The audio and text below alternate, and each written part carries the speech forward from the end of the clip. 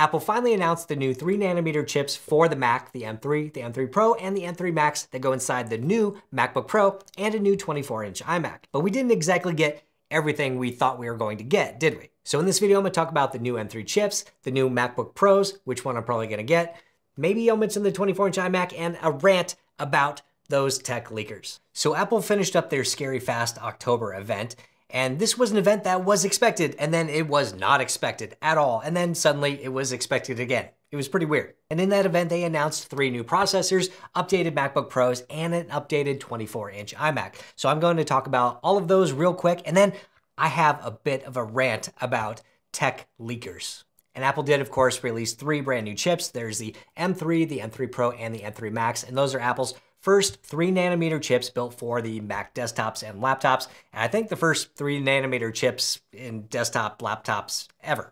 The base M3 processor gets an 8 core CPU and a 10 core GPU.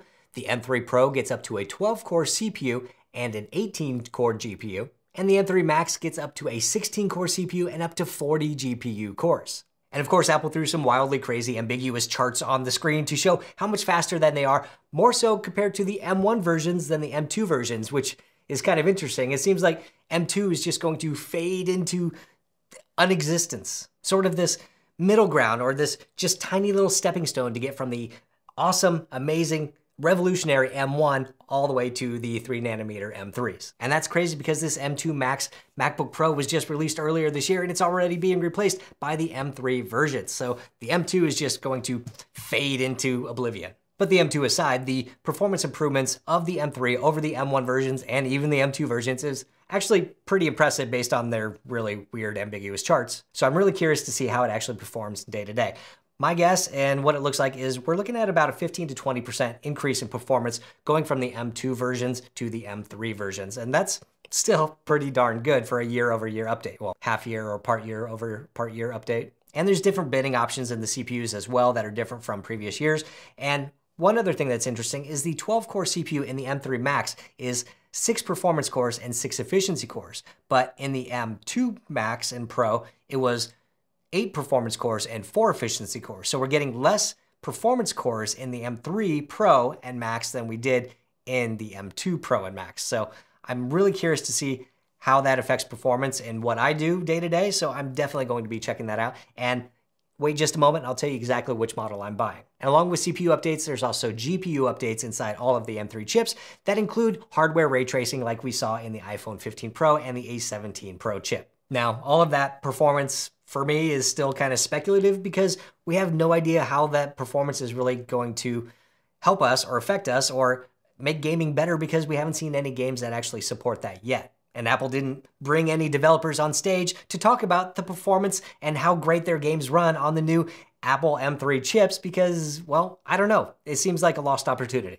And that's, I guess, all I have to say about performance right now because I don't know how they're going to perform against my M2 Max here. And all of those chips are now going inside the 14-inch MacBook Pro, including that base model M3 chip. That's right, now you can get a base model M3 14-inch MacBook Pro for 1599. And that means you get that ProMotion display, you get those amazing speakers, you get the better keyboard, you get the bigger trackpad, you get all these uh, great things with the 14-inch MacBook Pro that you didn't get with the 13-inch MacBook Pro if you just needed the base M3 or M2 whatever chip. And there's really not a lot to complain about with that model. And the only thing that you're not going to get is going to be on that right side, and that's going to be that third Thunderbolt port. And on the regular M3, the ports on the other side are Thunderbolt 3 slash USB 4, and on the Pro and Max versions, it is going to be Thunderbolt 4. And what does that really mean to you?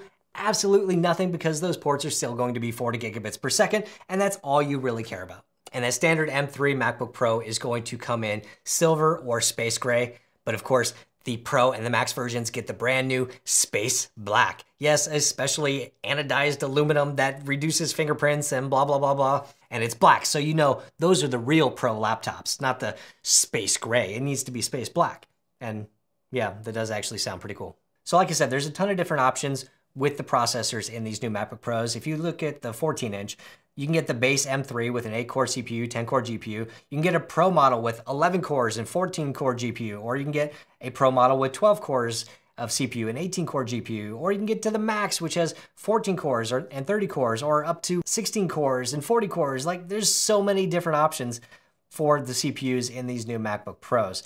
And the real question is going to be just, well, which one am I going to get? Well, if we look at what I'm using right now, I'm using the M2 Max MacBook Pro with the 12 core CPU. And if we go over to graphics, let's see, it is a 30 core GPU.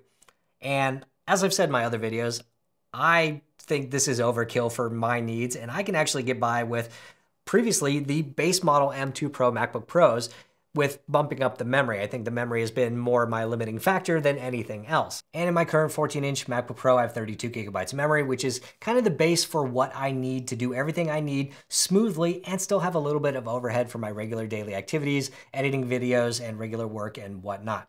So the 14 inch M3 Pro is going to be my model. Now, of course, because I'm a pro, I'm going to be getting the new space black color to show everybody that I'm a pro. And when it comes to processor, I can get the bin down 11 core CPU with 14 core GPU, or I can go with the, the bigger Pro model, the 12 core CPU and 18 core GPU. And which one am I gonna go with? Well, the bigger one, of course. Yep, I want those six performance cores and six efficiency cores and a 18 core GPU to help me power through my videos. And that starts at $23.99. So let's see what other options we can add to that. And so for the 14 inch model, we can then go from the high-end Pro chip that I have up to an M3 Max, and that's what I'm going to avoid this time. I don't need those extra GPU cores. I could probably use the extra CPU cores, but I don't need them. And going with the regular Pro model should keep the heat down because that's one of the only issues I have with this laptop is that the M2 Max just runs a bit warm and I feel it pretty frequently no matter what I'm doing. I don't hear the fans or anything, but I feel the heat. So I think it'll be nice going with the regular Pro model with less heat for my regular everyday work. So now we're going to scroll down to memory, and this chip comes with 18 gigabytes of memory by default, but we're going to bump it up to 36 gigabytes memory. So I get my 32 gigabyte base plus an extra 4 gigs, so I should be good for a while. And then down to storage. By default, it comes with 1 terabyte of storage. We're going to add 2 terabytes of storage for $400 because 2 terabytes, again, is the right amount for me. It allows me to have space for the videos I'm working on currently and everything else I have on my Mac regularly and my photos and whatnot. So this really just is the right amount for me. Then we can choose keyboard, backlit, no other software. So look at that. We're looking at $3,199 for this laptop. And, and yes, that sucks after spending about $3,500 on this laptop earlier this year. So make sure to hit subscribe and watch my videos comparing the M3 Pro and the M2 Max versions of these laptops because I need to help pay for them and I guess sell one. So that's the model I'm going to get, the 14 inch model with the M3 Pro 12 core CPU, 36 gigabytes of memory and two terabytes of SSD for $31.99.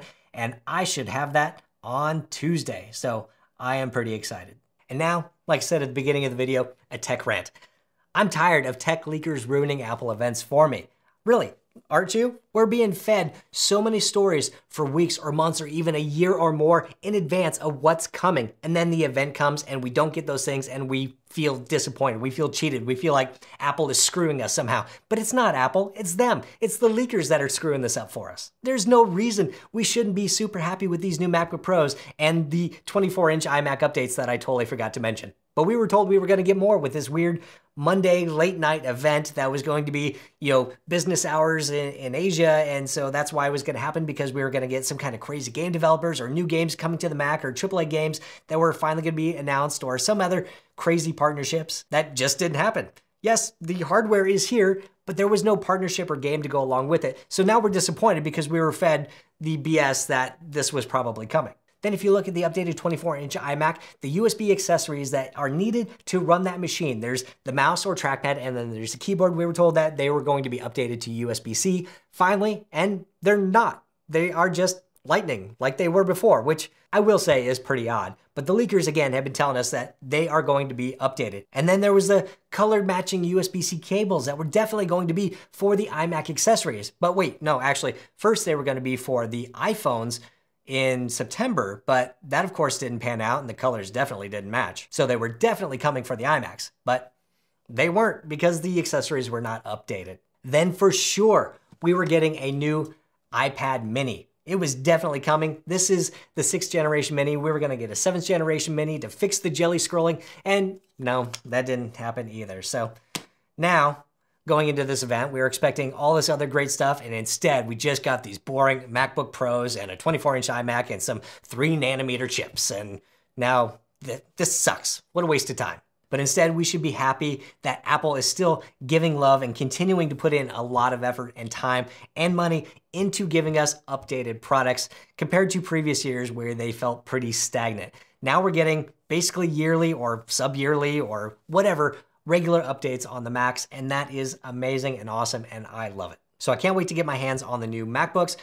If you want me to get an iMac and check that out, let me know in the comments down below, but I'm not sure if that's something I'm going to get right now. But let me know down below if that's something you really want to see.